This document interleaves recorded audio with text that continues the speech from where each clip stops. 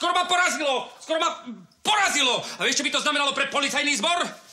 Že by prišiel od toho najtalentovanejšieho policajta v dejinách. Ale veď si nemusel prestávať. Veď to išlo celé perfektne.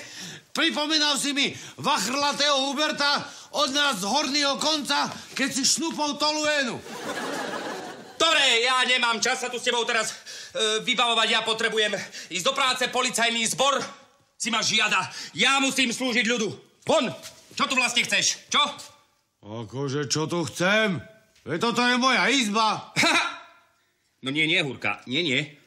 Toto tu je moja izba. Povedali mi, že dostanem slobodárku a že budem bývať sám. Veď aj mne povedali, že budem bývať sám. A vieš, čo mi to vyvolal? No. Strýko na ministerstve.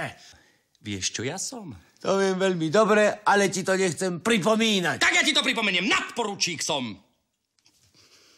Týmito rukami som si vydrel túto slobodárku v pote práce policajnej tváre, keď som vykoreňoval pír zločinu.